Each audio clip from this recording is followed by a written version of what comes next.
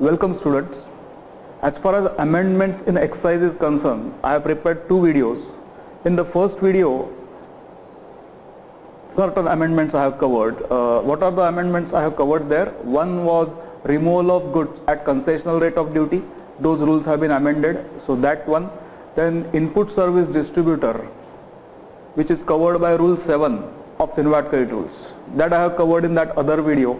And all amendments in rule 61, 62, 63, 64 and the procedure of 63A that has been covered in the other video. In this video all the amendments in excise other than those amendments have been covered.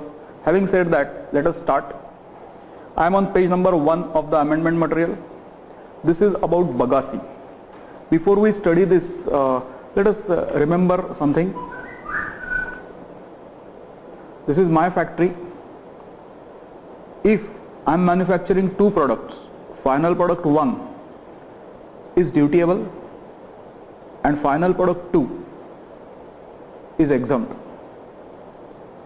and I am getting inputs excise duty paid, input services, service tax paid. Then how do you handle this situation? Uh, final product 1 whenever I clear on the value I end up paying excise duty and on final product 2 which is exempt on the value I end up paying 6%. That is what we know normally. Now I am talking about other issue. This is my factory. I bring inputs, input services, using them I manufacture final product but in that process waste is also generated. I sell final product then on selling price of the final product excise duty will become payable. And whenever I sell waste on the selling price also excise duty will be payable. For the simple reason that waste if it is movable if it is marketable if it is excisable and if waste is result of manufacturing process if all these conditions are satisfied then you have manufactured a waste also. So value of waste also excise duty will become payable Point I will repeat again, final product no doubt you have excise duty liability, but you have liability on waste also if these four conditions are satisfied. That waste per se by itself waste is movable, waste is marketable, waste is excisable and waste is result of manufacturing process. So if this is the process I am doing where I bring inputs, excise duty paid, I bring input services, service tax paid, which I use in the manufacture of final product. Then whenever I my sell my final product on selling price, excise duty will be payable. Whenever I remove waste, two possibilities. If waste is dutiable, then on value, excise duty is payable. But suppose waste is exempt, then like any other product, on value of waste also 6% will be payable. Last thing I will repeat once again. I purchase inputs excise duty paid, I purchase input services service tax paid which I use in the manufacture of my final product but in that process waste is also generated. If that is true, when I sell my final product on my selling price I will pay excise duty. When I sell waste, there are two possibilities. Waste is dutiable, waste is exempt if waste is dutiable on the value I will pay excise duty but if waste is exempt rule 61 of CENVAT credit rule will equally become applicable and on value of waste 6% will become payable. This is the background. Now here is the case of Bagasse.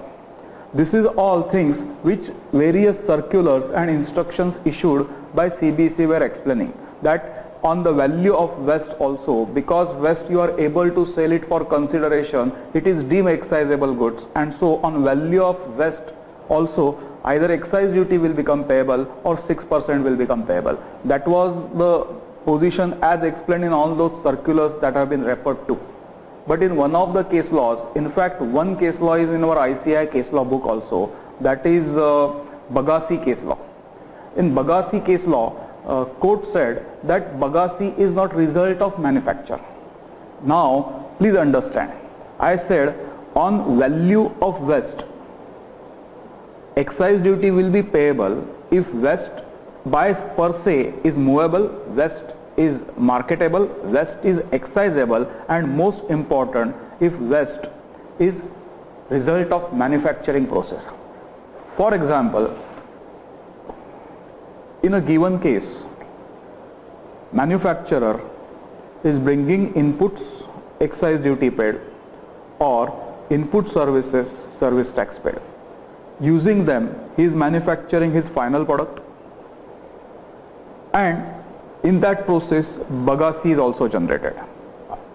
When he clears the final product, also along with that, he clears the Bagasse also. Now, on value of Bagasse, whether 6% is payable or whether excise duty is payable, that was the question. But court gave decision that Bagasse is not result of manufacture. And if it is not result of manufacture, then neither excise duty is payable nor 6% is payable. That was the position. But as you know, as you know, Rule 6.1 was amended and one explanation was inserted. The explanation is read as follows. For the purpose of this rule, exempt goods or final product as defined in clause D and H of Rule 2 shall include non-excisable goods cleared for consideration from a factory. Now, when I clear the Bagasse, whether or not it is result of manufacture, if I am clearing it from my factory still on the value either excise duty will become payable and if it is exempt then 6% will become payable. So because of this explanation all these case laws now they are not required and all those circulars also not required. So CBC has withdrawn all those circulars. That is the amendment on page number 1. To repeat point once again the last the crux of it. Now explanation says even if you are clearing from your factory non-excisable goods, they will be given the same treatment like exempt goods. So whether or not it is result of manufacturing process, but if some non-excisable goods are generated in the factory, whether or not by the reason of manufacturing process, when you clear them, the non-excisable goods from the factory, even on the value of non-excisable goods also 6% will become payable because for the purpose of rule 6 non-excisable goods cleared from the factory will be given the same treatment like exempt goods. So that is what is discussed on page number 1. Page number 2 generally there is nothing great to learn here and not a very new kind of amendment but एक बार जरा ये page को समझने की कोशिश कर what are the various duties that are payable and which all duties are exempt net net which all duties are payable as of now if you remember charging section 3 has created charge of basic excise duty. If you are manufacturing excisable goods in India excise duty is payable basic excise duty and even today it is payable. The second duty the charge of which was created by charging section 3 special excise duty has been completely exempted. Additional duty of excise goods of special importance. This duty stands cancelled. Additional duty of textile and textile articles even this is exempt today national calamity contingent duty even today is payable. Education cess and secondary and higher education cess if you remember 1st March 2015 onwards basic excise duty rate was changed from 12 to 12.5 percent and EC and SHC payable on excisable goods was exempted. So as a result, as of today, education cess and secondary higher education cess is not payable so एक बार जरा view लेते हैं basic excise duty is payable special excise duty is no more payable T N G S I is no more payable T N T A no more payable N C C D is payable education cess is not payable secondary and higher education cess is not payable additional duty of excise the charge of which was created by finance act two thousand three no more payable but additional duty of excise, the charge of which was created by Finance Act 2005, which we popularly call it as health cess, is payable. Clean energy cess, the charge of which was created by Finance Act 2010, is payable. Infrastructure cess, actually it is payable, but it is not applicable for our attempt so we are not going to talk about it. So what is the net conclusion? If you are manufacturing excisable goods in India, 1-3-2015 onwards, only basic excise duty is payable, NCCD is payable, additional duty of excise, Finance Act 2005, health cess is payable, clean energy cess is payable, and infrastructure cess is not applicable to us. So 1-3-2015 onwards, basic excise duty, NCCD, health cess and clean energy cess are the only taxes payable on goods manufactured in India. That is what I have summarized on page number 2. Page number 3 is amendment in central excise rule, rule 7.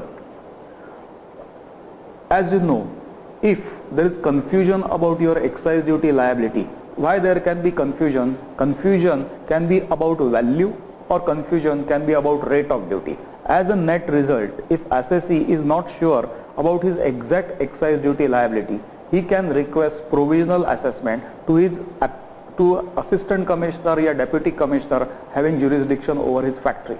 And considering his case assistant commissioner or deputy commissioner may allow provisional clearance of the goods at the rate decided by him. Once provisional assessment is resorted to final assessment should be completed within 6 months. Period of 6 months in a particular case can be increased by commissioner by another 6 months and chief commissioner can increase this period by the period he deems fit. If provisional assessment is less than final assessment, differential duty is to be paid along with 18% interest. If provisional assessment is more than final assessment, then you are entitled for refund at the rate of 6% and for the refund, provisions of section 11b will become applicable. This is what we have studied in rule 7. But as you remember, 7.4 was defective and that has been amended. Rule 7.4 has been amended 1-3-2016 onwards. If you remember, there was one case law which we have discussed in RTP November 2015 case laws. That case law was C8. In C8, the defect in 7.4 was brought forward. Let us re re repeat what we have studied in C8 case laws. For example, assessee's provisional assessment was done for the month of January 2016 and provisionally he has paid 1 lakh rupees. There was a possibility either his liability is 1 lakh or his liability is 2 lakh. So he requested a provisional assessment and his officer allowed provisional assessment at 1 lakh rupees and this provisional duty assessee has paid. Now final assessment is yet not completed but meanwhile some information become available to the assessee or for whatever reason he is now of the opinion that final assessment will be completed at 2 lakh rupees. In between he had some excess money he is in fund flow. So what he has done even before final assessment is completed as an advance he has credited 1 lakh rupees to the credit of central government towards final assessment. I'll repeat provisionally he has paid 1 lakh rupees as of today final assessment has not taken place but assessee out of some information or out of fear has paid advance 1 lakh rupees another 1 lakh rupees towards possible final assessment. Ultimately for example final assessment was completed in May 2016 and final assessment officer completed at 2 lakh rupees. Now what is the liability of the assessee? Final assessment is 2 lakh rupees. Provisionally he has paid 1 lakh. As an advance he has paid another 1 lakh. So now amount payable by him is 0. 7.4 was wrongly drafted. 7.4 it was written consequent to final assessment. If there is some liability then assessee has to pay it with interest. Here as you can understand consequent to liability assessee consequent to final assessment order assessee has no liability. In that case in C8 case law courts gave decision that no interest is payable. Actually it was a wrong case law and that defect in rule 74 of central excise rule provisional assessment has been now amended by doing an amendment in 74 effective 1 3 2016 what is written in the amendment I will explain you with the help of one example. For example, assessee's assessment was completed provisionally for the month of January 2016. The confusion was The confusion was either it is 1 lakh rupees liability or it is 2 lakh rupees liability. Assessee was provisionally assessed for the month of January and officer told him to pay 1 lakh rupees. You have to understand if it is liability for the month of January, assessee must have paid it to the credit of central government on February 6th. So on February 6th, he must have paid 1 lakh rupees. Now the story goes like this. For example, final assessment is yet not completed, but assessee has developed the fear that his ultimate liability is going to be 2 lakh rupees. Without waiting for final assessment and because assessee had some excess money in his fund flow, what he has done, for example, on 10th May, he has paid another 80,000 rupees to the credit of central government. Now, for example, on 20th of May, he has paid another 20,000 rupees to the credit of central government. Ultimately, final assessment took place. For example, and final assessment took place on say 10th of June 2016 and final assessment took place at 2 lakh rupees. Now, what is the liability of the assessee? Provisionally, he has paid 1 lakh. As an advance, on 10th of May, he has paid 80,000. As an advance, on 20th of May, he has paid 20,000. So consequent to final assessment, his liability is zero. But whether any interest is payable, and rule 7 newly amended says yes, interest is payable. Interest will start from the next day to the due date that is February 7th. On first advance, it will be payable from February 7th up to 10th of May that is date of payment and on second advance also it will be payable from February 7th up to 20th of May. Now whenever you pay you have to pay with interest and pay period starts from the next day to the due date till date of payment. Now rule 7 has been completely rationalized. Please find amended rule 7.4 on page number 3.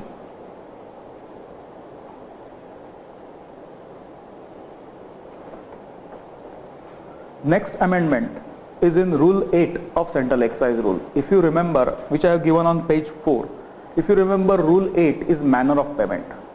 Normally in excise, your January liability you pay on February 5th or 6th. If you are SSI, then you pay quarterly. For April, May, June quarter, you pay your liability on 6th of July. For July, August, September quarter, you pay your liability on 6th of October, so on and so forth. So normally assessee pays his liability on the next month, he pays monthly and in the next month on 5th or 6th, but SSI pays it quarterly. But for the month or quarter ending on 31st of March, excise duty is payable on 31st of March.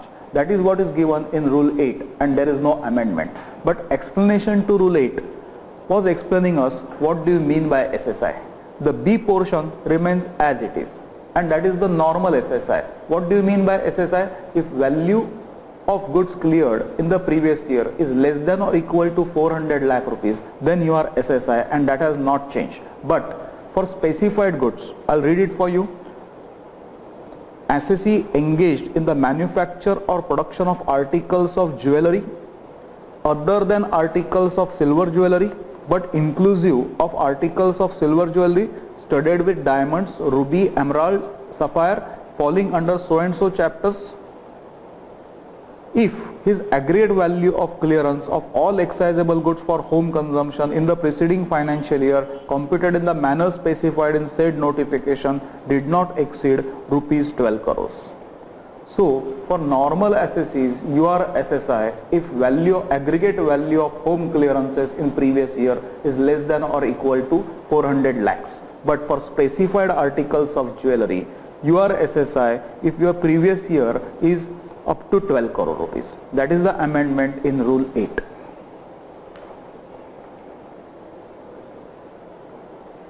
Now I am on page number 5. There is also one amendment in rule 9 if you remember rule 9, rule 9 was talking about registration. Who is supposed to register? Manufacturer warehouse keeper, uh, 4-4 wala store keeper, first stage dealer, second stage dealer, these are an importer who wants to issue CENVATable invoice. In fact, rule 9 ne bola tha user of excisable goods also has to get registered. But rule 9 we have always read along with exemption notification 36 of 2001 if you remember if you are manufacturing of nil rate if you are manufacturing nil rate yeah exam goods you need not register then if you are manufacturer under section 65 of custom warehousing you need not register if you are a trader other than first stage dealer and second stage dealer you need not register if you are a principal manufacturer and your job worker is not working under 214 of 86 you need not register all that portion we have studied in the class and there is no uh, amendment there. But the amendment is something different. What the amendment says is that if there are you are a person who have more than two premises and those premises are located in the same area. And on that area only one officer central excise officer uh, superintendent of central excise has the jurisdiction. The processes done in those two units are interlinked. You are not claiming area based exemption.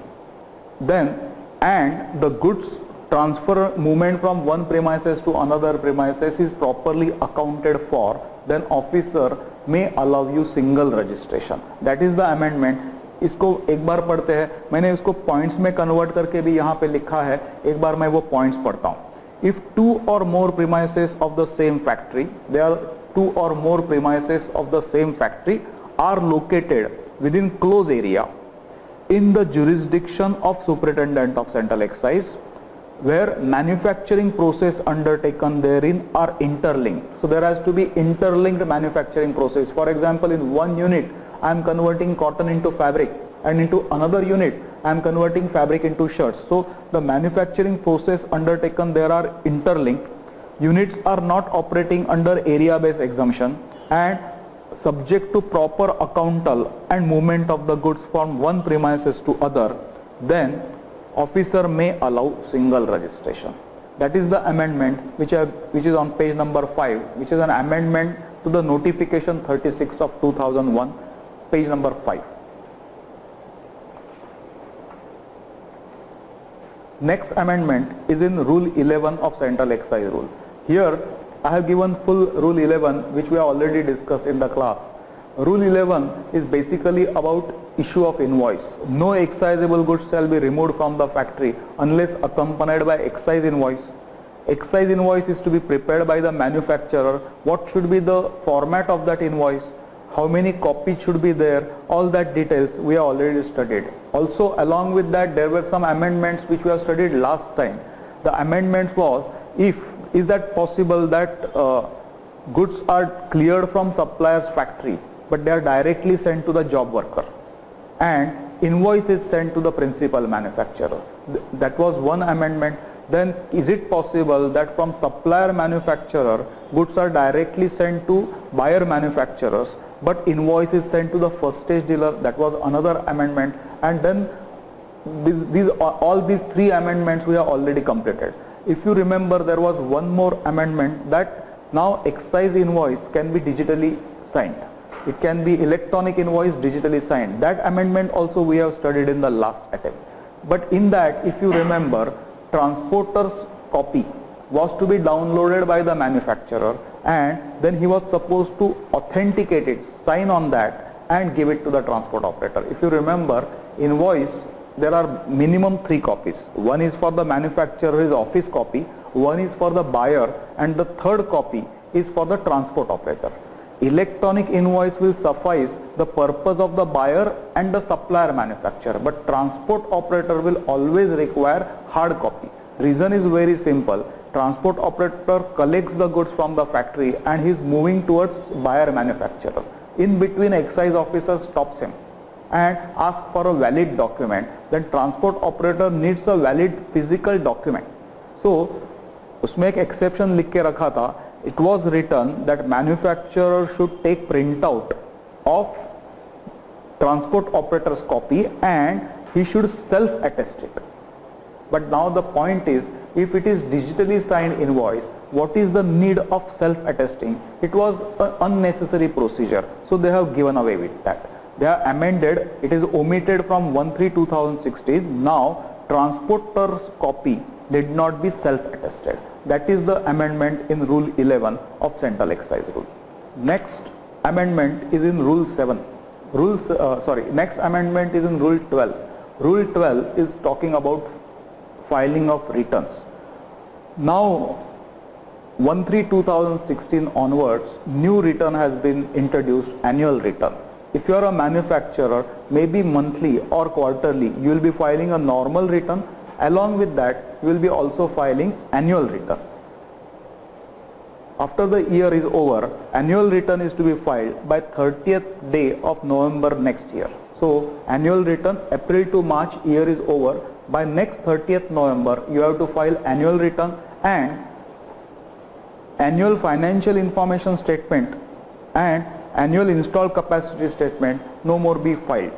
Also, now the penalty which was payable is equally payable if you are filing annual returns late. Also, also this uh, normal return as well as annual return now can be revised. I think these are the points which are self-explanatory here. No value addition possible from me. Just read them. Now two returns you need not file. One is annual financial information statement and one is annual install capacity statement and it is substituted by annual return. If you remember service tax also annual return has been introduced though no format has been introduced. The return has to be filed but abhi tak uska format bola nahi hai but now in excise also you can you have to file annual return also you, normal return as well as annual return you can revise that is given on page number 7 and page number 8.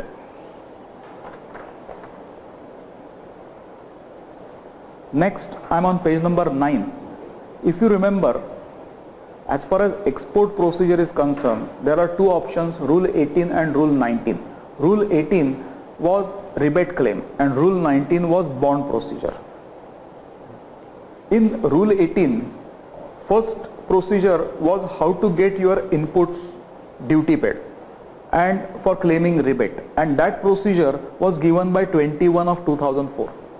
If you remember what was the procedure, manufacturer will declare his input output ratio, officer will verify his input output ratio. If he is satisfied, he may visit the factory and check actual manufacturing process or he may ask for the samples and he will satisfy himself about correctness of input output ratio. Then he will allow manufacturer to buy inputs duty paid and if you are getting your inputs under rule 18 final product also you have to export under rule 18 that was the procedure given by 21 of 2004 but now in that procedure there is one amendment. If your goods are covered by SION, SION then uh, chartered engineer certificate for correctness of ratio and input and output is also to be filed by the manufacturer. So instead of only declaring your input output ratio, you have to file chartered engineer certificate which authenticates the correctness of input output ratio. In that case, officer will accept it as it is and he will not do the verification of your input output ratio. But still, if he is not satisfied with the chartered engineer certificate, he reserves the right to check your input output ratio. I'll read that. In addition to declaration, a manufacturer will also have to file chartered engineer certificate for correctness of ratio of input and output where SION is notified the permission for manufacture and export of finished goods before commencement of export will be given on the basis of such certificate. The procedure of actually checking of input output ratio by the officer is dispensed with but thus there will be no verification by ACDC. But in case, but still if he is doubt in his mind, still in case there is any doubt on the correctness of the declaration, ACDC may visit the factory. So in the normal course, officer will accept the chartered engineer certificate. If he has doubts in his mind, then only he will bother you to check the correctness of input-output ratio. That was one amendment in this notification. Also the other amendment, now they are categorically written that you should not avail CENVAT credit. In rule 18, you are going to take rebate of the excise duty that you have paid. In that case, you cannot avail CENVAT credit obviously no, same cost ke do bar aap benefit nahi le sakte ho and the third uh, rebate claim ke liye 11b ka time bar applicable ho gaya hai in other words from the relevant date 11b's time bar is is year same time bar is applicable for rebate application under rule 18 also so now from the relevant date you will have to make application for rebate within one year that is the amendment all these amendments are on page number 9 page number 10 also uh, almost same thing rule 18 का जो export procedure था uh, if you remember what are the conditions to remove final product first condition for under rule 18 what were the conditions that we have already studied first condition that uh, goods shall be removed from the factory on payment of duty. Second condition was that after removal from factory goods should be exported in 6 months. Third condition if rebate claim is less than 500 rupees then rebate will not be allowed. These were the and market price of the goods should be uh, the market price of excisable goods shall not be less than rebate claim. That is the they were the conditions but here what do you mean by market price? Market price means global market price market price means price of the goods in the importing country or price of the goods in India now that word India has been added so by here by last we mean Indian market price of excisable goods at the time of exportation is not less than amount of rebate claim. So if Indian market price of the goods which you are planning to export is less than rebate that is claimed then no rebate will be given This was one amendment the word Indian was added. Also this we have just now studied. यहाँ पे पहले six months लिखा हुआ था. You can make rebate claim within what period? Previously it was written 6 months but now the words have been changed to before the expiry of the period specified in section 11b and as you know 11b matlab 1 year. So that is the amendment in rule 18 procedure. Please complete page 9 and page 10. Next I am on page number 11 there is one amendment in rule 26. जरा इसको समझते हैं दो penalties मुझे याद है एक था 11 एसी वाला पेनल्टी और एक था रूल 26 वाला पेनल्टी 11 सेक्शन 11 ए में क्या लिखा था if manufacturer that is person liable to pay excise duty so here 11 ac proceedings were possible only against manufacturer what was the reason why show cause notice was issued short payment short levy short uh, short levy non levy short payment non payment और erroneous refund एक बार repeat करता हूँ eleven A के reason to issue show cause notice which short levy short payment not levy not payment या erroneous refund rule 26 अच्छा और 11 AC में by issue of show cause notice officer was going to recover duty interest and 11 AC was talking 11 AC was talking about penalty penalty there in innocent cases was 10% or 5000 whichever is great or Uh, for fraud cases it was 100% this penalty was subjected to certain reductions we have studied that in 11 AC Simultaneously, Rule 25. Rule 25 also is talking about some penalty. But here he is talking about confiscation and penalty. And what are the offences? They have been given by A, B, C, D. Here on page number 11, I already reproduced Rule 25. But most important things if you see, first we'll read the offences remove any excisable goods in contraventions of any of the provisions of these rules or the notification issued under these rules does not account for any excisable goods produced or manufactured or stored by him engages in manufacture or production or storage of any excisable goods without having applied for registration contravenes with any of the provisions of these rules or notifications issued under these rules with intent to evade payment of duty. And who is the person doing offense? Producer or manufacturer, registered person of a warehouse, importer who issues excisable invoice, registered dealer. एक बार मैं basic difference between the two penalties discuss करता हूँ 11 AC was only possible against manufacturer. Rule 25 is possible against manufacturer, against first stage dealer, against second stage dealer, against warehouse keeper, against storekeeper and in fact against the importer who is issuing CENVATable invoice. Here 11 AC the reason was short levy, short payment, not levy, not payment or erroneous refund. Here there are so many offences. 11 AC all what you are asking is penalty equal to 10% or equal to 100%. Rule 25 is talking about confiscation of goods and penalty. Penalty will be, what is the penalty here? Penalty will be equal to duty or 5000 rupees whichever is greater. To conclude, 11 AC was only talking about penalty, rule 25 is talking about confiscation and penalty. Also, 11 AC was only possible against manufacturer, 25 is possible about so many people. But rule 25 is subject to section 11 AC. If you read the opening line, rule 25 is subject to 11 AC. In other words, if officer has already started proceeding under 11 AC and he is demanding penalty under 11 AC, rule 25 penalty cannot be demanded. Now officer can use rule 25 only for confiscation of the goods. Conclusion, if officer has already started recovery proceedings and if he has already asked for penalty under 11 AC, now double penalty under rule 25 not possible still officer can confiscate goods under rule 25. Okay, but that is again rule 25 which was about all these people but what if a transport operator was party to the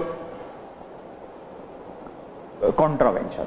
The, you are a transport operator, you knew that the goods which you are picking up for delivery, the goods which you are trying to remove from the factory are the goods against which offense has been done. One of these offense A, B, C, D, E wala, A, B, C, D wala offense hai.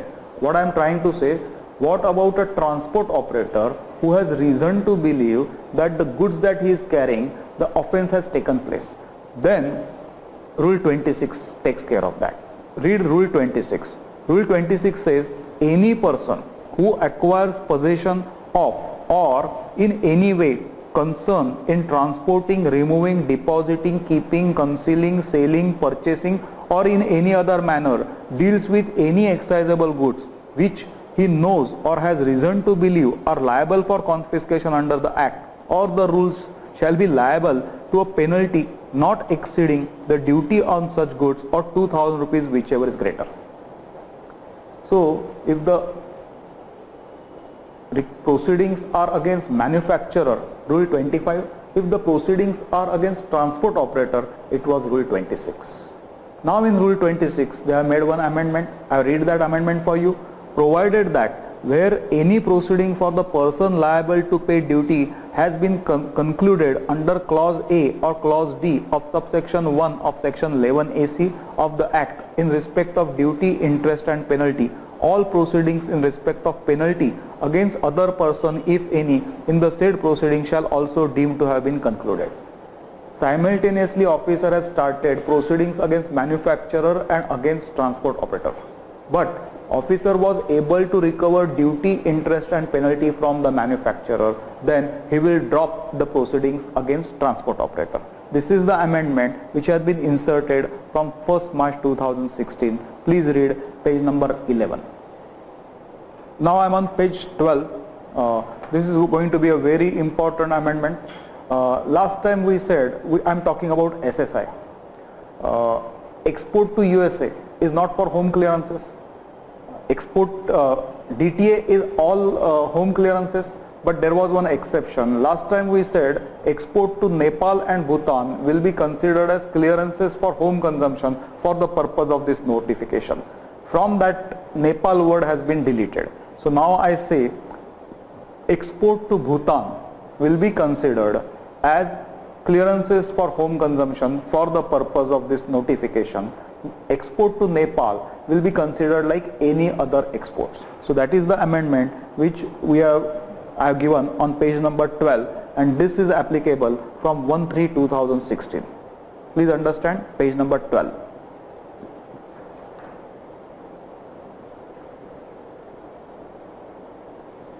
Now I start with some amendments in CENVAT credit rules. The first amendment is in capital goods. If you remember what is capital goods? All goods falling under chapter 82, 84, 85, 90, 68.04, 68.05 to that list wagons of subheading number 860692 has been added.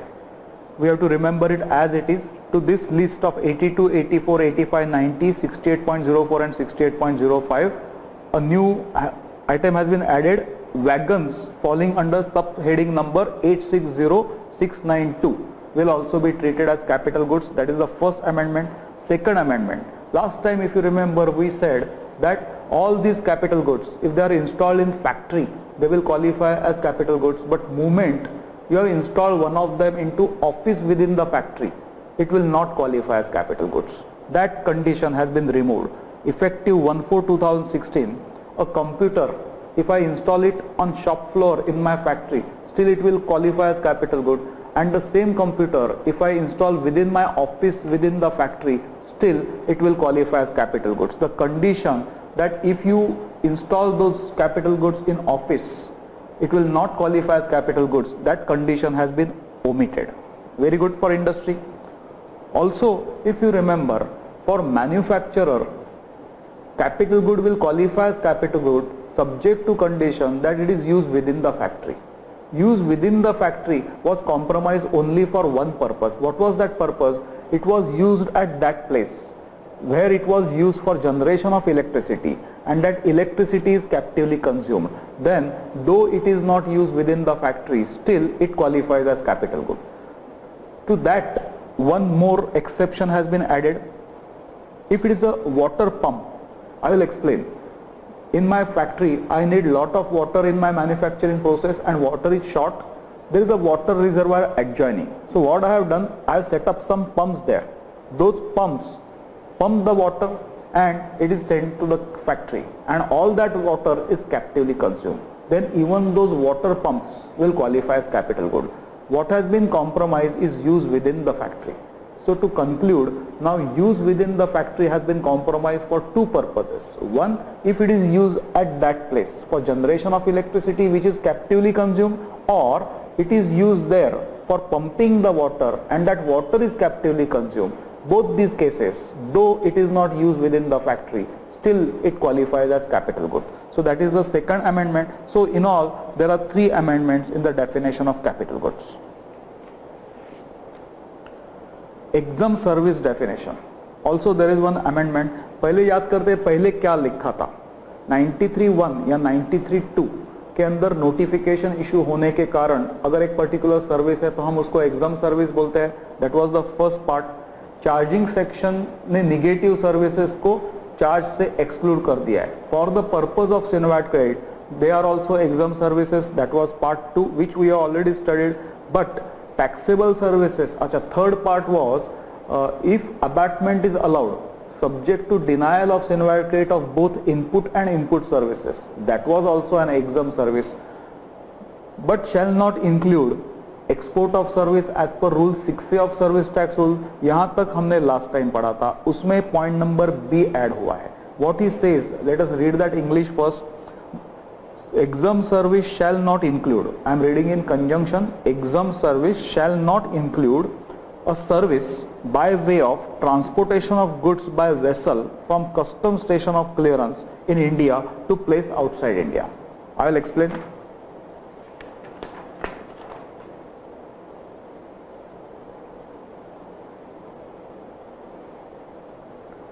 This is Indian Shipping Company this is Indian shipping company. What service they have provided? Some exporter wanted that his goods be lifted from Indian port and dropped at South Africa port and transportation of good is going to be by vessel. What is the service provided by shipping company? They are going to take goods of an exporter from Calcutta port and they are going to transport it to South Africa port. Service provided by shipping company is transportation of goods by vessel. For this service, POP rule will become applicable and what is the destination of this, uh, what is the POP of this transaction? POP will be destination of the goods. Destination of the goods is South Africa. So POP will be South Africa which is in non-taxable territory. So on this service, there is no service tax liability. And because there is no service tax liability, this service will become exempt service. In turn, CENVAT credit will not be available. But if CENVAT credit is not available, what the shipping company will do? They will add it to their cost so as to provide this service. If shipping company is buying some inputs excise duty paid or buying some input services service tax paid and if the this service is exempt service then CENVAT credit will not be available. In turn shipping company will add this excise duty add this service tax to their cost which will increase cost of the service. In turn export price will increase which is not good for us. So now they say, now they say are you providing a service of transportation of goods by vessel from custom station of clearance in India to place outside India? I know you are not paying service tax but still your service will not be treated as exempt service. In other words, CENVAT credit will be available to you. That is the amendment. This is amendment to reduce the cost of shipping companies and to make them globally competitive. That is the amendment in exempt service point number B.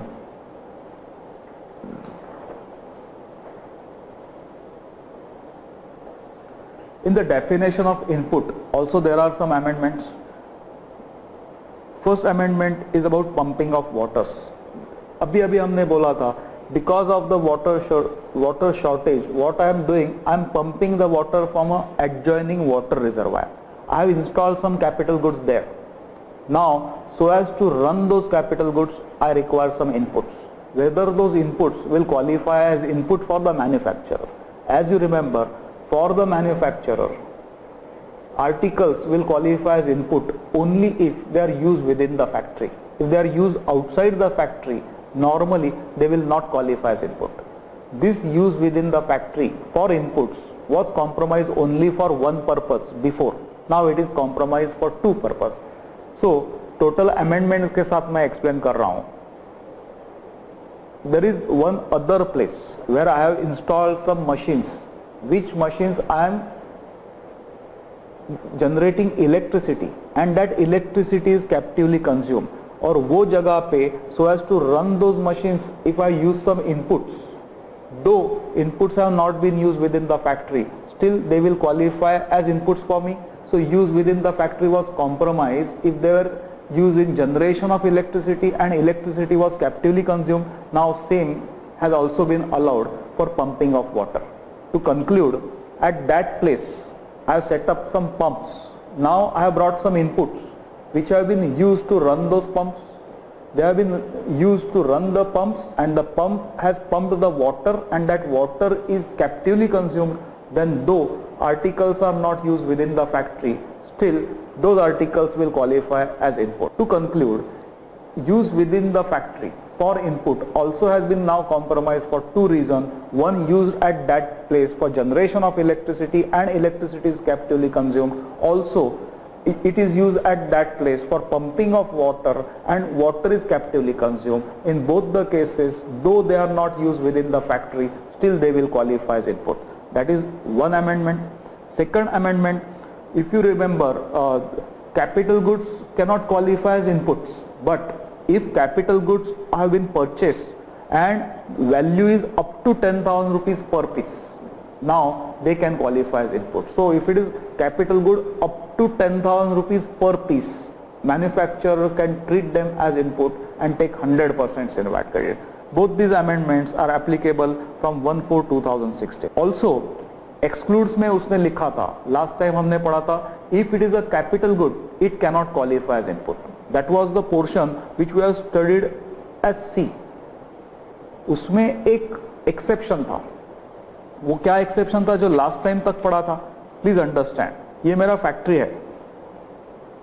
Today I purchase a computer computer is falls under classification of capital good but what I am doing with this computer I manufacture furnaces on this furnace for temperature control I have to fit in one computer so ये जो computer मैंने bye किया था I fit it on my final product and when I clear my final product along with my final product capital good is also clear in that case this computer will not be treated as capital good and it will be treated as input तो पहले वो बोल रहा था exclude portion में exclude portion portion में पहले वो बोलता है capital good cannot qualify as input फिर उसने एक एक्सेप्शन लिखा था if capital good is such which is cleared along with the final product. Then it is not capital good for you it is input for you.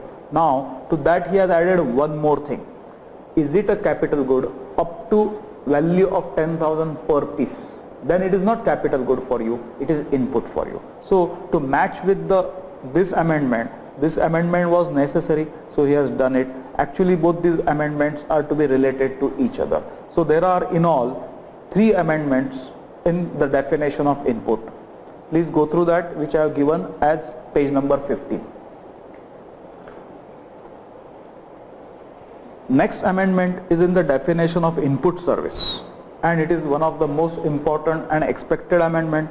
In my case law lectures, the introduction to case law lectures, I have already explained this amendment in detail. Listen to that video where I have explained it better. यहाँ पे मैं उसको short में explain करता हूँ. I will repeat what I said just now. My first lecture on case laws, which I have named as Introduction to Case Laws. There, this point I have explained very nicely. यहाँ पे उसको short में repeat करता हूँ. whether sales commission will qualify as input service. There were n number of case laws where based on analysis of means portion of input service and analysis of include portion of input service, courts had given the decision that sales commission will not qualify as input service, but which was not good for industry. Certainly unless you have incurred sales commission you cannot increase your sales. So sales has something to do with your business and actually sales commission should qualify as input service. That was the industry demand which was true also. So now they have taken care of that 3rd February 2016 they have amended definition of input service and one explanation has been inserted I'll read that explanation for you for the purpose of this clause Sales promotion includes services by way of sale of dutiable goods on commission basis. Categorically they have added, categorically they have made it point blank clear that sales commission will qualify as input service. That is the amendment in the definition of input service on page 16.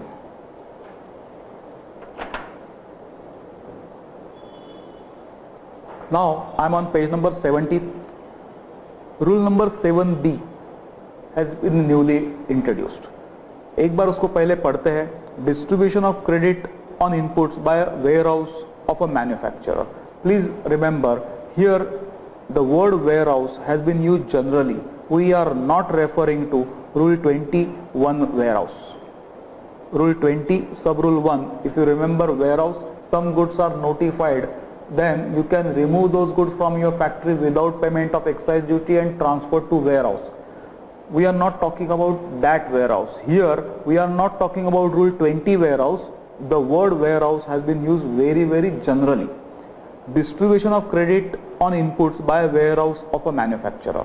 A manufacturer having one or more factories shall be allowed to take credit on inputs received under the cover of an invoice issued by the warehouse of the said manufacturer who receives input under cover of documents specified in rule 9 towards the purchase of such inputs. The provisions of these rules or any other rules made under Excise Act as applicable to first stage dealer or second stage dealer shall mutatis mutandis apply to such warehouse of the manufacturer. I'll explain. I have three factories, factory 1, factory 2 and factory 3. For example, I have three factories and all these factories require so many inputs and some of them are common inputs. It always makes sense if purchase is centralized. So what I have done, I got this place, I call it a warehouse. It's the place where I have centralized all my purchases.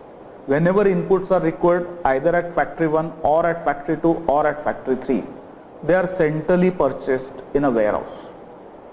You know the advantages of centralized purchase.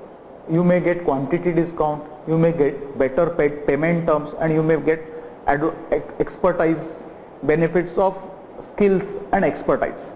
So all my purchase department is centralized here. Inputs required at factory 1, factory 2 or factory 3.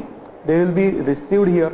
So CENVAT credit I cannot say avail. It will be booked here by some accounting entries and by some documents it will be transferred.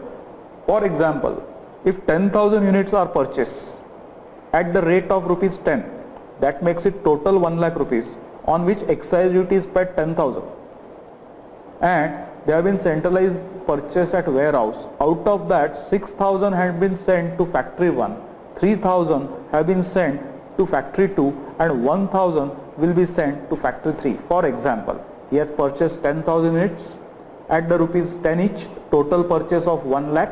On that excise duty paid is 10,000. Out of this 10,000 units, 6,000 factory 1, 6,000, 3,000 factory 2, 1,000 factory 3. By one-to-one -one correlation, 6,000 rupees CENVAT credit will be transferred on factory 1, 3,000 rupees CENVAT credit will be transferred on factory 2, 1000 rupees CENVAT credit will be transferred on factory 3. He says warehouse keeper, this person will act like first stage dealer. Based on the invoice of purchase, he will receive CENVAT credit and he will pass on to factories. And because it is first stage dealer, he will be registered as first stage dealer. All provisions of Central Excise Act and rules made there under regarding first stage dealer will become applicable to him. So like first stage dealer, he will do one-to-one -one correlation. This unit is sent here, उसका सिन्वाइट kit इधर भेज दो this unit is sent here उसका relatable CENVAT kit इधर भेज दो he will do one to one correlation and distribute that credit over the factories यहाँ पे वो बोलता है सेवन बी में पहले वो बोलता है कि आप ये काम कर सकते हो और सेवन बी टू में वो बोलता है you will like you will have to function like first stage dealer or second stage dealer. And all the provisions of first stage dealer and second stage dealer under this act and rules will become applicable to you.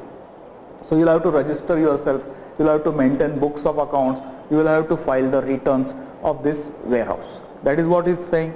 Uh, this is just to handle the practical difficulties faced by the industry where there is a centralized purchase department kind of situation that is rule 7b newly inserted from 1/4/2016 एक बार एक interesting situation जरा देख लेना which may be converted into a question three rules we have studied rule 7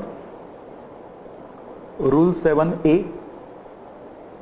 and rule 7b rule 7 was talking about input service distributor rule 7a is talking about uh, rule 7a is only talking about service provider and rule 7b is only talking about manufacturer. Rule 7 was applicable to manufacturer as well as service provider. Rule 7a is applicable only to service provider. Rule 7b is applicable only to the manufacturer. Rule 7 we were talking about distribution of CENVAT credit of input service. Rule 7a was talking about distribution of cinematograph of capital goods and inputs and 7b is talking about distribution of cinematograph only of inputs. तीन rules ko ek bar comparative study karo, then you will be able to understand all these three rules better. If you remember rule 7 we were talking about input service distributor who on the basis of invoices of service provider is availing CENVAT credit and distributing it over his factories or premises. Rule 7 was only talking about availment and distribution of CENVAT credit of input service and rule 7 was applicable to manufacturer as well as to service provider. If you read rule 7a, he is talking about availing CENVAT credit, not availing, booking the CENVAT credit of excise duty paid on inputs and capital goods by the office of service provider. So 7a was basically talking about capital goods and inputs and rule 7a is only talking about service provider it is not talking about manufacturer. Rule 7a is talking about booking CENVAT credit of excise duty paid on capital goods and on inputs which was to be distributed by service provider on his premises. Rule 7b is only talking about booking CENVAT credit of excise duty paid on inputs and its distribution over the factories. So 7b is only talking about inputs and is only talking about manufacturers. A comparative study may make you easier for you to understand these three rules. Please complete page number 17.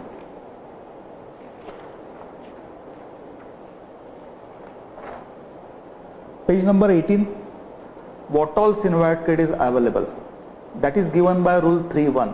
उसमें एक ship breaking industry के लिए एक proviso था if you remember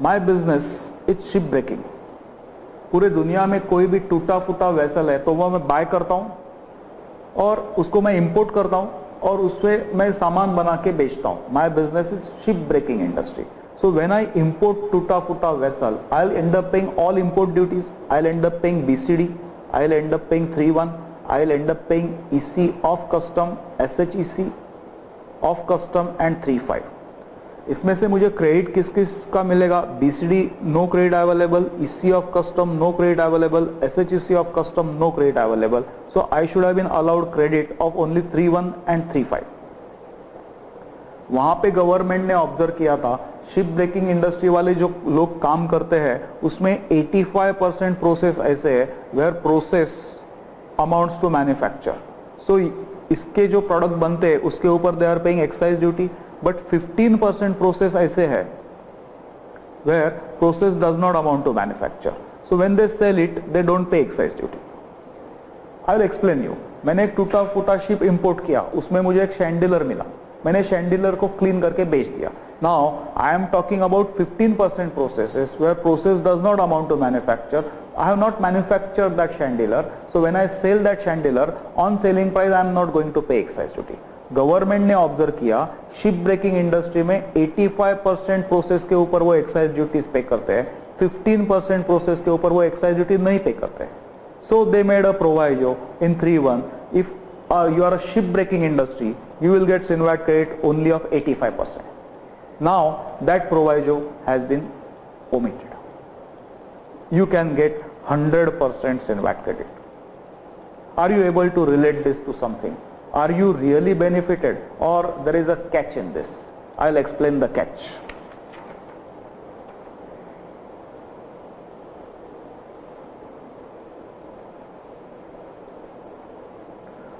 imported vessel 31 का 100 percent credit ले लिया 35 का 100 परसेंट क्रेडिट ले लिया if process manufact amounts to manufacture on the value I'll pay excise duty. Process which does not amount to manufacture will be considered as clearance of non-excisable goods.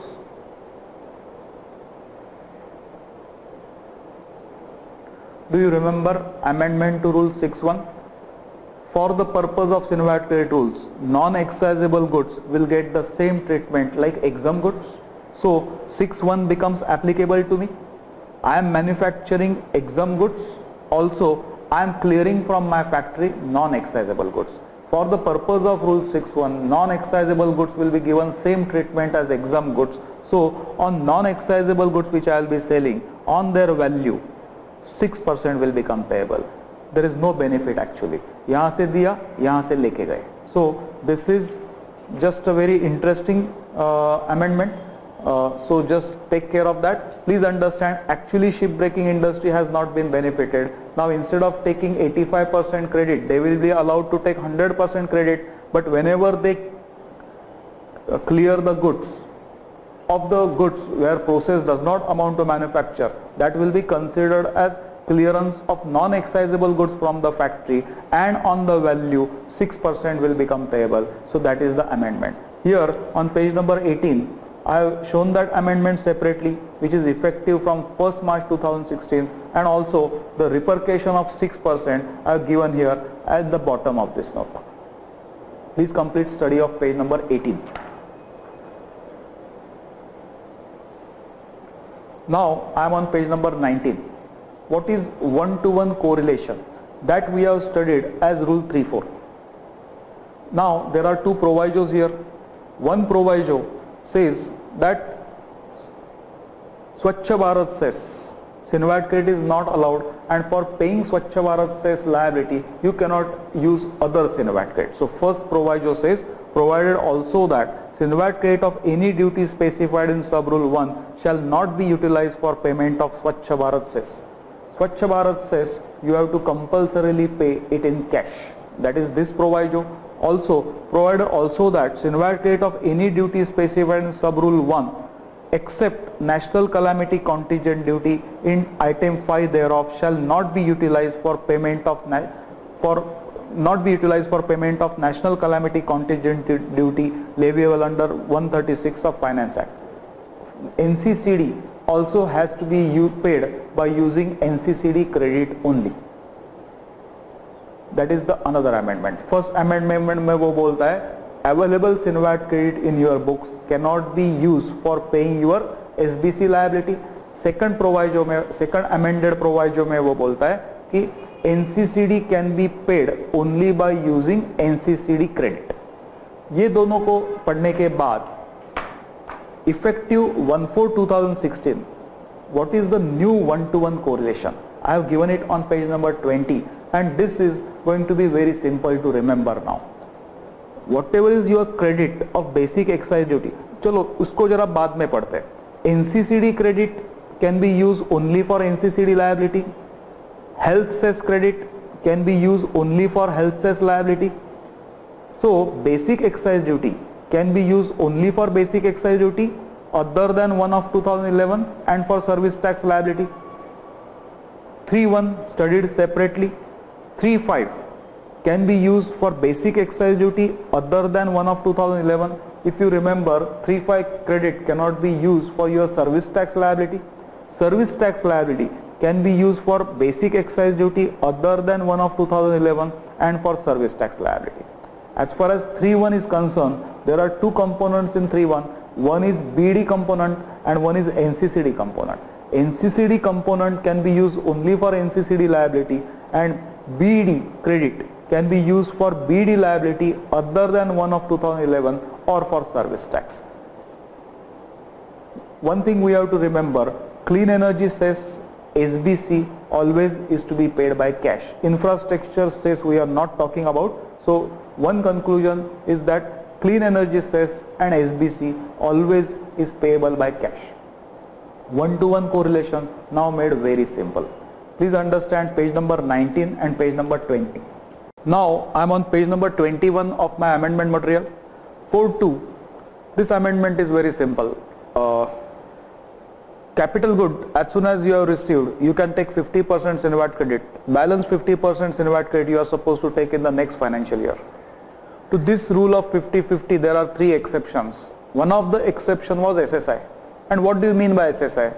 If value of clearances in the previous year is less than or equal to 400 lakhs then you are SSI normally. But as you know for specified jewelry items you will be considered as an SSI if value of clearance is up to 12 crores. So normal is given by point number 2 there is no amendment there. Normally we call you SSI if previous year does not exceed 400 lakhs but for specified items of jewelry if previous year does not exceed 12 crore rupees that is the amendment on page number 21 47 very very important amendments and in 47 there are three amendments amendment number 1 amendment number 2 and amendment number 3. Amendment number, amendment number 1 first. If you remember, after invoice is received, immediately you can take CENVAT credit. If you are not able to take it on the same day, can you take it on next day? Yes. Can you take it next week? Yes. Can you take it next month? Yes. Is there any time limit? Yes. One year. From the date of invoice, if CENVAT credit you have not taken within one year, it will lapse. That is the normal provision. But this provision is not applicable to services provided by government or local authority or any other person by way of assignment of right to use any natural resources. The time bar of one year not applicable to specified service. And which is that specified service? Is it a service provided by government or local authority or any other person to a business entity? And is the service assignment to use uh, uh, assignment of right to use natural resources? Yes. Then time limit of one year is not applicable. What is the reason behind this? Immediately understood in the next proviso next proviso first without the proviso as soon as as soon as invoice is received under 47 immediately you can take 100% CENVAT credit of input service. Normally, yes. But is it service provided by government, local authority or any other person? And is it assignment of the right to use natural resources? CENVAT credit will be allowed in three equal installment. I'll repeat the important point once again. Normally as soon as invoice is received under rule 47 you can avail 100% of the CENVAT credit. But are you talking about service provided by government local authority or any other person to a business entity where service is assignment of right to use natural resources CENVAT credit will be available in three equal installment immediately one third next financial year one third, next to next financial year one third. Remember here service provider can be government, local authority or any other person. What why this any other person? We'll talk about it after we read third proviso. Provided also that where the manufacturer of goods or provider of output service as the case may be further assign such right assigned to him by government or any other person in any financial year to another person against consideration such amount of balance CENVAT credit as does not exceed the service tax payable on the consideration charged by him for such further assignment shall be allowed in the same financial year. So the assignment of right you got whatever service tax you have paid under reverse charge. CENVAT credit was allowed one third one third and one third but before uh, the third year in between only if you have sub assigned it then balance CENVAT credit will become available immediately. What is trying to say is like this. Government or local authority. For example has provided service logically to a business entity here I'll call it A limited and value was 1 lakh. For example, it has to be 100,000 crores but it is assignment of natural resources and value is 1 lakh. Ignoring service, uh, ignoring SBC, 14,000 will be service tax liability, 500 rupees will be SBC liability. Remember, CENVAT credit of SBC is not allowed.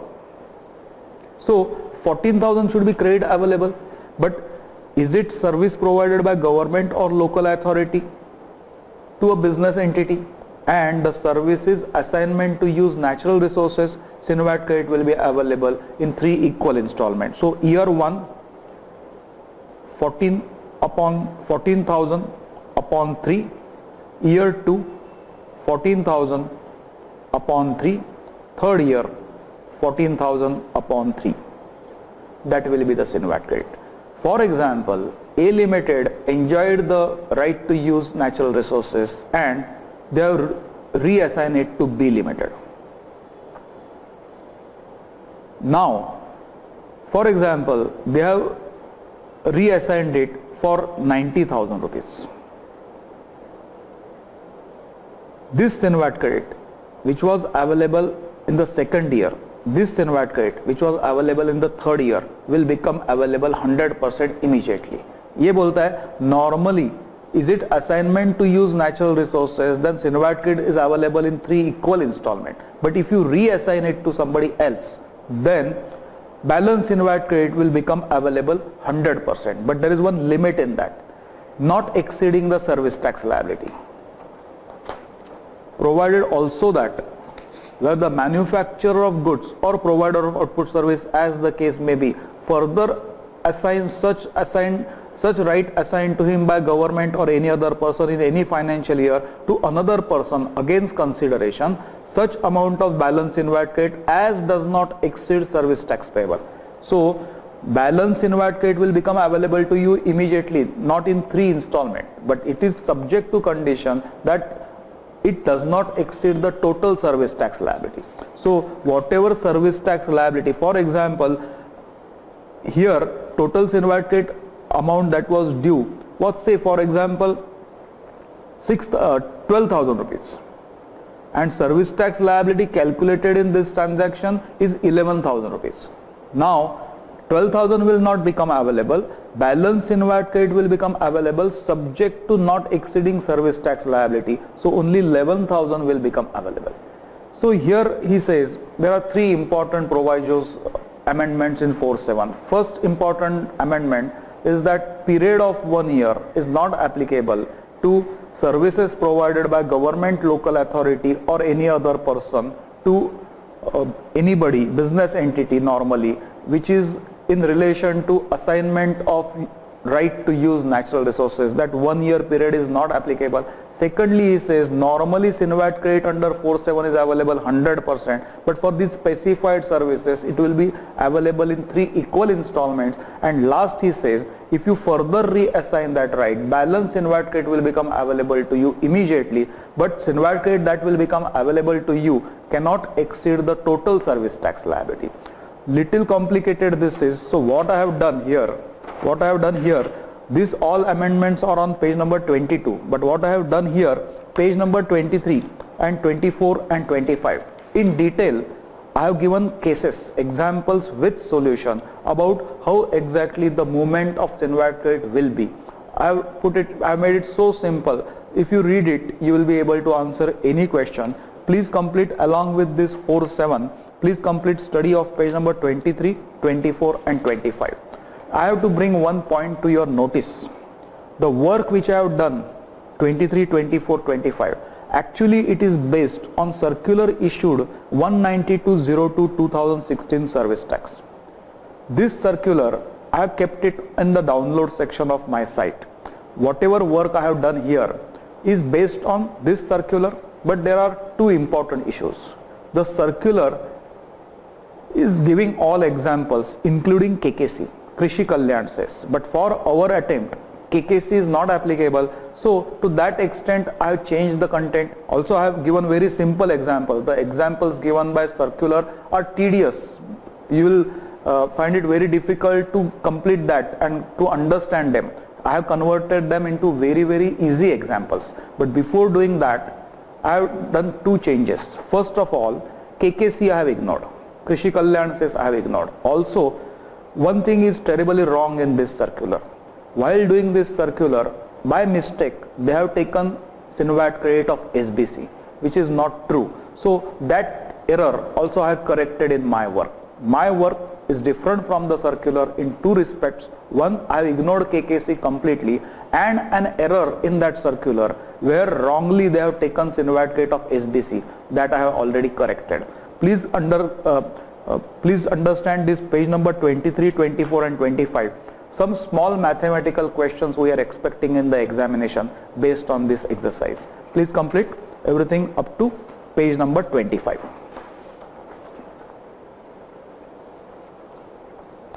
Now I am on page number 26. There is one amendment in there are two amendments here on this page. One amendment is in 45B and one amendment is in 46. Let me explain you these amendments. First of all, what is 45 all about? 45A was talking about sending inputs or capital goods to a job worker. Please understand, as a manufacturer, I got, I'm talking only about 45, not amendment. 45, I got some inputs, excise duty paid.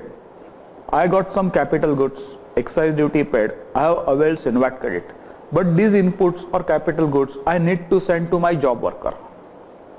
For example, inputs ke upar job worker minor minor process करने wala hai. so, iske liye मेरे ko inputs uske पास भेजने हैं और capital goods में be required at job worker and for doing some processes he is doing some processes for me and for that he require those machines so i want to send my capital goods can i do this 4 5 a is allowing with this four five बोलता है input के बारे में बात करता हूँ। Four five बोलता है इनपुट आप जॉब वर्कर के पास भेज दो।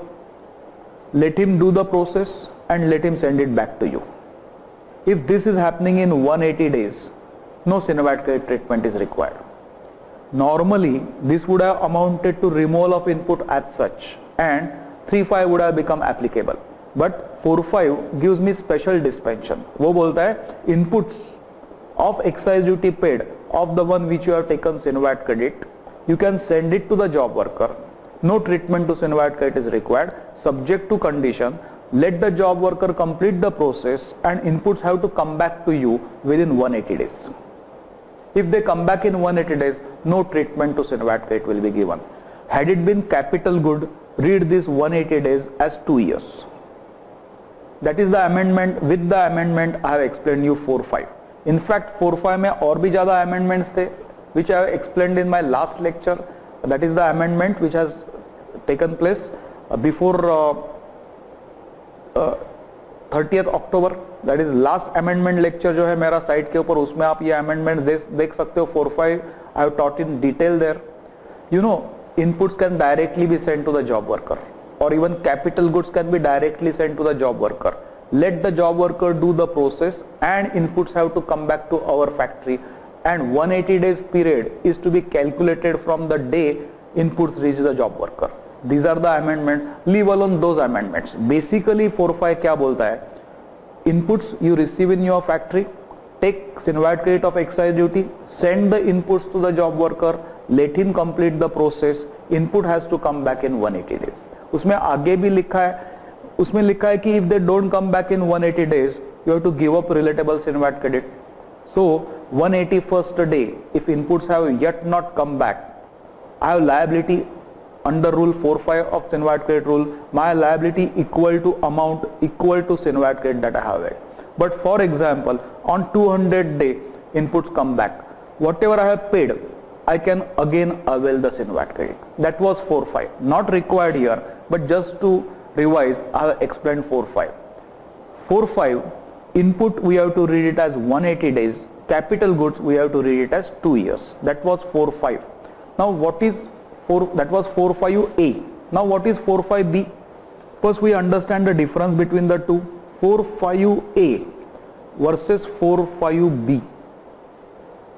What is the difference? 4 5 we are talking about inputs and capital goods all inputs and all capital goods. 4 5b is only talking about specific capital goods. 4 5a whatever you send has to come back in 180 days or 2 years. 4 5b whatever you send does not come back in 180 days or 2 years. 4 5a if you have sent inputs to your job worker, they have to come back in 180 days. If you have sent capital goods, they have to come back in 2 years. 45B, the capital goods, the specific capital goods which you have sent to your job worker, they will never come back. Also, 45A is talking about only job worker. 45B is talking about job worker and other manufacturer. पहले ये फर्क समझना तो 45 भी आसान हो जाता है अभी 45 बी विदाउट अमेंडमेंट मैं पहले एक्सप्लेन करता हूँ। Principal manufacturer job worker principal manufacture has received 100 plus 10, 110. What is this this is capital good and they are moulds mould dies jigs and fixture refractory refractory material he has received this capital good maybe 50-50 but he is going to avail CENVAT credit of 10 rupees. Capital goods have come to his factory. But these capital goods, namely molds, are not required in his factory. They are required in job worker factory. He sends it to the job worker. Job worker use them in his manufacturing process and in manufacturing process they got exhausted. They never come back. Still you can continue to enjoy CENVAT credit. That is B without amendment now उसमें एक amendment है। Principal manufacturer है। Supplier manufacture है। He is the supplier of moulds job worker है। Job worker require certain moles but will tell him directly to supply it at job workers factory and send the invoice to us invoice will be like this buyer करके वो principal manufacture का नाम लिखेगा। Consignee करके वो job worker का नाम लिखेगा। 100 plus 10 110 may be 50 50 but Cenvat credit will be availed by the principal manufacturer job worker will get those capital goods in the nature of moulds dies jigs and fixtures they get exhausted they never come back but still we can continue to enjoy Cenvat credit previously four five B apparently it was necessary to receive molds in your factory and then send it to job worker. Now 45B also has been amended. Even the molds can directly be sent to the job worker and you can avail CENVAT credit. I know molds will never come back but that does not matter. 45B in the amended form. The CENVAT credit shall also be allowed to the manufacturer of final product in respect of jigs, fixtures, mold and dies or tools falling under chapter 82 of first schedule to the Central Excise Act sent by such manufacturer to another manufacturer for the production of goods or a job worker for the production of goods on his behalf according to his specification provided that such credit shall not be allowed where jigs, fixtures, mold and dies or tools falling under chapter 82 of first schedule to Central Excise Tariff Act are sent provided that such credit shall also be allowed where jigs, fixture, mold and dies or tools falling under chapter, chapter 82 of first schedule to Central Excise Tariff Act are sent by the manufacturer of final product to the premises of another manufacturer or job worker without bringing these to his own premises. Now, even you can tell supplier manufacturer to send the molds directly to job workers factory and if job worker is going to use them in manufacturing process, then still you can avail full CENVAT credit. So 45B has been amended to send the molds directly to job workers factory. Also 46 if you remember 46 was saying something like this principal manufacturer 100 plus 10 110 he has availed CENVAT credit of 10 rupees inputs have come to him job worker principal manufacturer has sent inputs to job worker job worker has converted them into final product now is it possible that final product be directly be cleared from job workers factory 46 was allowing that 46 bolta hai if final products are ready at job workers factory directly from job workers factory you can clear them you have to take permission from the commissioner and permission once granted will be available for one year. That is what we have read without amendment. Here 4.6 I see that a financial year word has been deleted substituted by three financial years. So once the permission has been granted it will be valid for three financial year that is the amendment. Page number 26 4.6 has been amended applicable from 1st March 2016. That is the amendment in 4.5, uh, 4.5 and 4.6.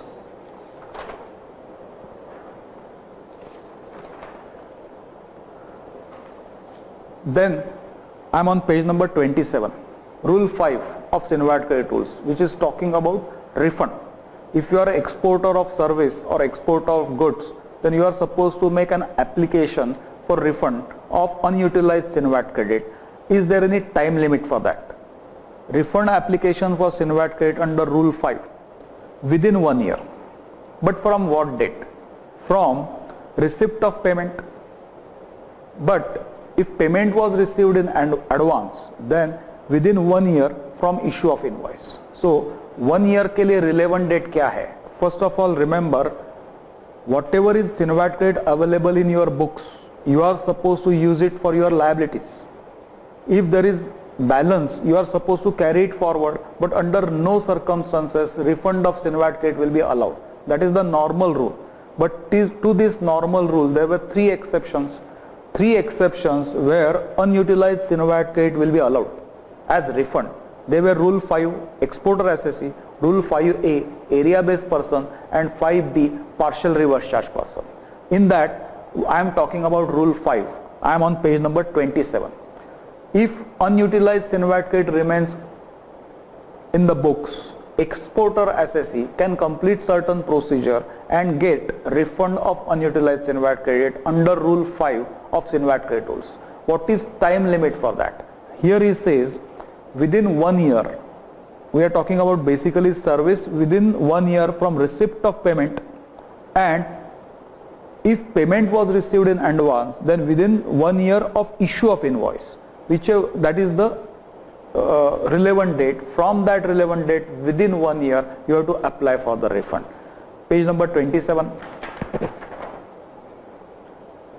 other amendments here given in this book uh, page number 27 was about uh, rule 5 of CENVAT credit rules. 6 7 actually we have already completed first you remember what is 6 6 normally what 6 1 had said? Normally what rule 6 1 had said? 6 1 said, I am getting sub inputs, excise duty paid and I am going to use those inputs for manufacture of final product and my final product is exempt, then CENVAT credit is not available to me. But six six ने बोला था I am talking about six six six six ने बोला था is your final product exempt because you are an exporter then six one is not applicable to you in other words he saying you are not paying excise duty and your final product has become exempt because you are exporter. Then though you are not paying excise duty still CENVAT credit will be available to you. We know what happens next.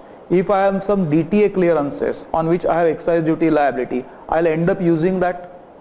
But if I have no DTA clearances under rule 5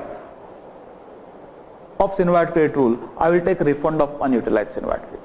6.6 was saying the normal rule that if you are not paying excise duty, then you are not eligible for CENVAT credit is not applicable if the reason for not paying excise duty is export.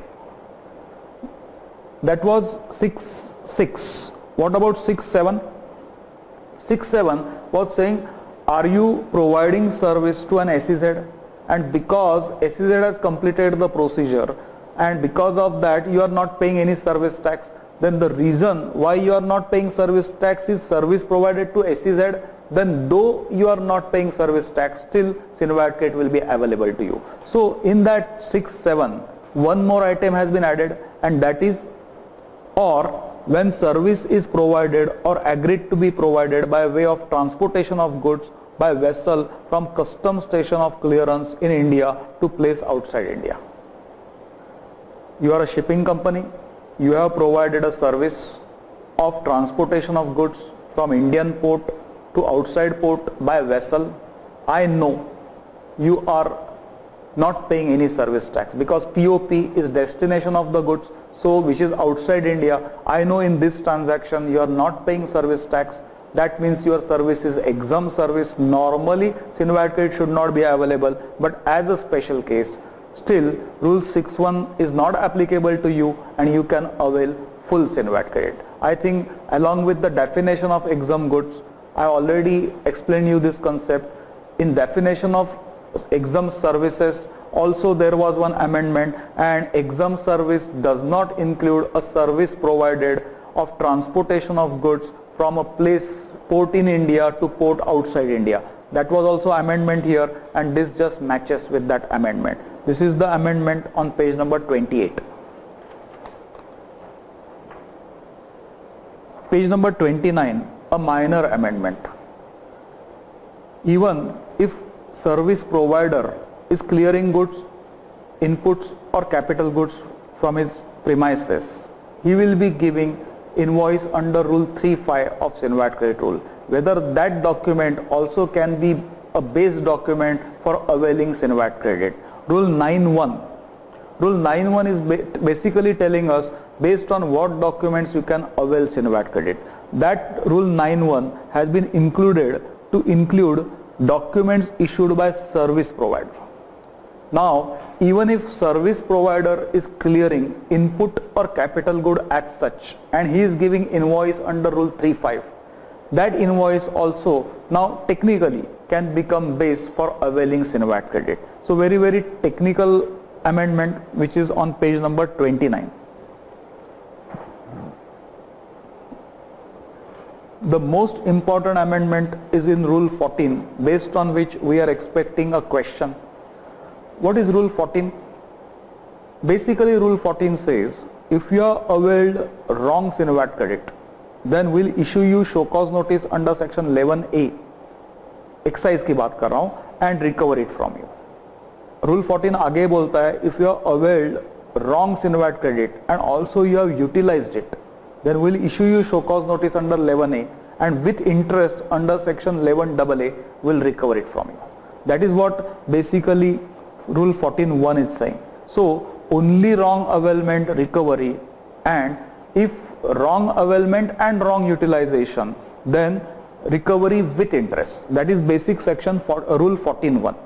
14.2 was giving an order if you have utilized wrong CENVAT credit we will assume that you have utilized it in following order. He says we will always assume that opening balance of CENVAT credit you have used first. Then you have used eligible credit of the current month and last we will assume that you have used ineligible credit of current month. So 14.2 was giving a hypothetical assumption order in which CENVAT credit is deemed to have been utilized but 14.2 has been omitted. This has been omitted effective 1-4-2016. How? It will change the mathematics. I have given on page number 32 a question which I have solved based on old method that is with 14.2 on and new method that is having omitted 14.2. I think it is going to be self-explanatory. This kind of question is expected in the examination. Just have look at the problem, think about the solution try to solve it in the old method, try to solve it in the new method and then check the answer. Point to be noted, one hypothetical assumption that in what capacity, in what order you have utilized the CENVAT credit which was given by 14.2 has been omitted now. Previously he was saying whenever you use CENVAT credit we assume that first you, you have used opening balance, then you have used eligible CENVAT credit of the current month and then you are using ineligible CENVAT credit of the current month. That order is gone. So factually uh, will always say always while utilizing I have used eligible CENVAT credit first and that is going to change the mathematics of interest completely. Please find problem with solution on page number 32. Page number 33, a very very simple amendment. 11 AA, last time we said if you are paying excise duty late for whatever reason below the sun, always you have to pay it with interest at the rate of 18%. 18% was applicable rate up to 31st March 2016. From 1-4-2016, read it as 15%. That is the amendment on page number 33. Here, after page 33, page 34, 35, 36, 37 and 38 there are some amendments according to me they are not very relevant for you. I have copy pasted them as it is from RTP nothing to value add from my side. One reading of these amendments is recommended. Uh, I have copy pasted them as it is from RTP they have not been covered when I teach the subject. And nothing much to value add. Please read it yourself. These are the all amendments possible in excise. Uh, thank you very much.